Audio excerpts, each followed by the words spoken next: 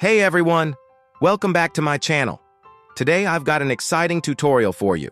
If you found a Bitcoin private key, maybe from a puzzle, a giveaway, or an old wallet, you'll need to import it to access your funds.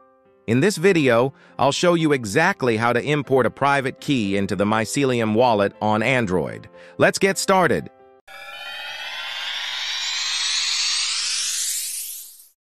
First, make sure you have Mycelium Wallet installed on your Android device. If you don't, head over to the Google Play Store, search for Mycelium Wallet, and install the official app by Mycelium.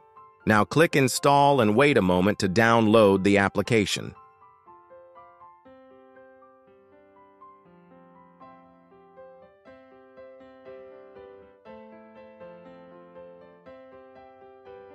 Now click Open. Click Create New.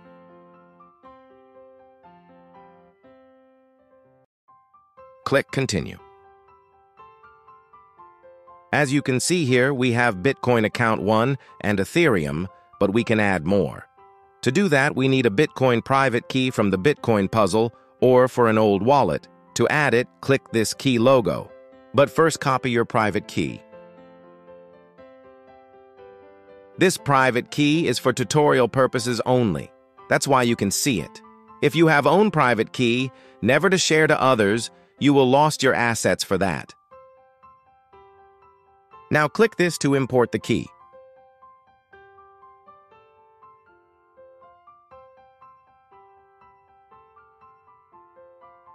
Click Advance and More.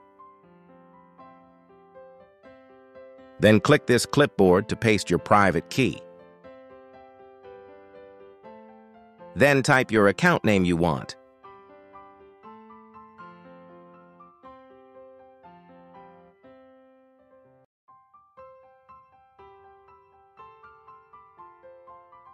Then click OK to import it.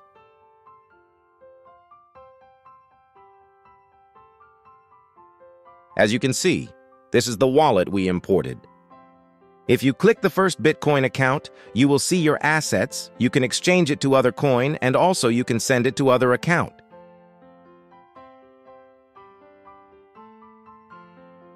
Now let's click our imported account.